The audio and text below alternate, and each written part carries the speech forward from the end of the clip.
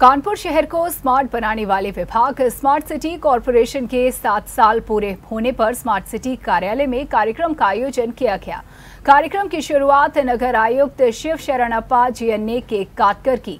कार्यक्रम में कई स्कूली बच्चों ने भी शिरकत की। वहीं नगर आयुक्त शिव शरणप्पा जी ने बताया कि स्मार्ट सिटी के द्वारा शहर में कई काम ऐसे हुए हैं जो कि सराहनीय हैं।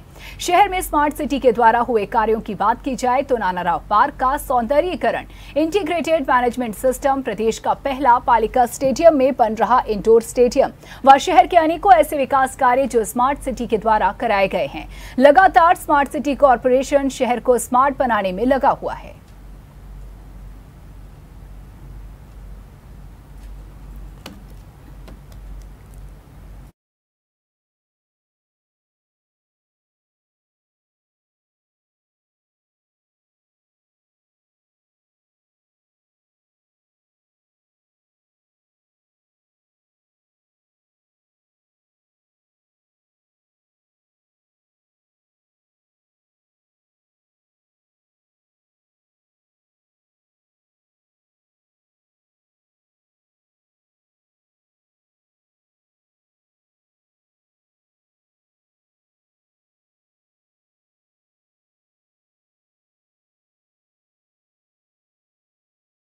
हमारे स्मार्ट सिटी के सात साल संपन्न हुए हैं। इसमें हम लोगों ने कानपुर शहर के लिए बहुत सारे प्रोजेक्ट्स को हम इस स्मार्ट सिटी से हम लोगों ने सफलपूर्वक संचालित किया है। जैसे आप देख सकते हैं कि इंडिकेटेड ट्रैफ़िक मैनेजमेंट सिस्टम हो गया सी सी टी कैमराज और इसके अलावा कन्वेंशन सेंटर है नाना राव पार्क है।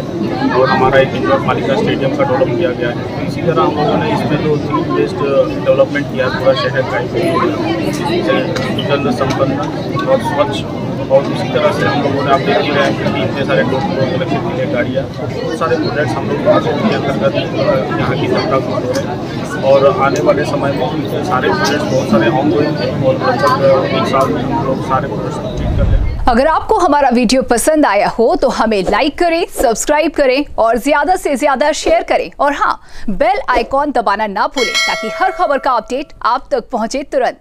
आप हमें इंस्टा ट्विटर और फेसबुक पर भी फॉलो कर सकते हैं। हमारी आईडी है at the rate J M D news